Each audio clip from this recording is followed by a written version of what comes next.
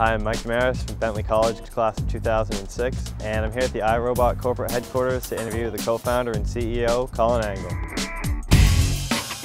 iRobot Corporation was founded in 1990 by Colin Angle and two other roboticists from MIT. They've not only built robots for really cool projects like searching the Great Pyramids of Egypt, and very important projects like searching through the World Trade Center rubble after the September 11th attacks, and helping protect U.S. troops in Afghanistan and Iraq. But they're also responsible for the Roomba, the vacuum cleaning robot, which they have now sold 1.5 million of worldwide. I'm currently majoring in business management and minoring in history with an interest in the U.S. military. I can't wait to talk to Colin about his professional success and some of the defining moments in his career. My first question, what was your major in college?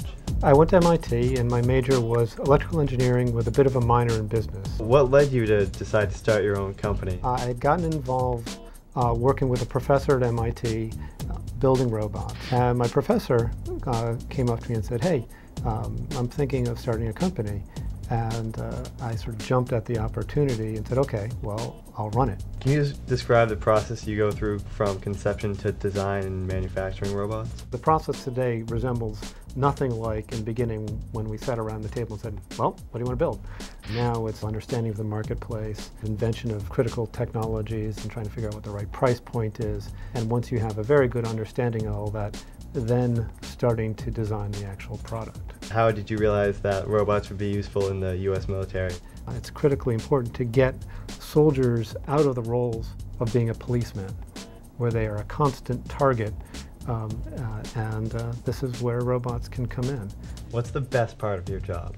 I've been lucky enough to have a company that's exciting and interesting has been able to attract people that can help me continue to learn. What are the challenges for manufacturing uh, robots for the government? Robots for the military are, are characterized by being um, relatively low volume.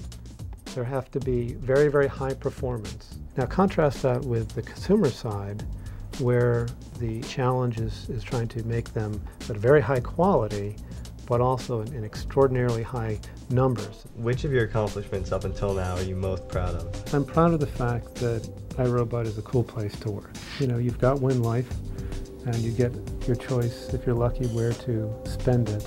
And for people to decide they want to spend their life trying to make robots a practical reality is something I'm very proud of. Can you tell me what you consider to be the defining moment of your career? Certainly launching the Roomba was probably the biggest single event in the company's history. What advice do you have for someone like me who's just getting ready to launch his own career? This is like the ideal time to chase some wacky ideas or find some people that this guy can teach me.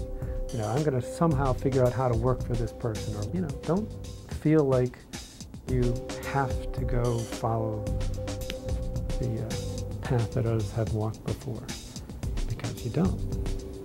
And you can always decide to do that later. And the perspective that you bring, having walked a little off the track and then come back, will make that path all the more rewarding.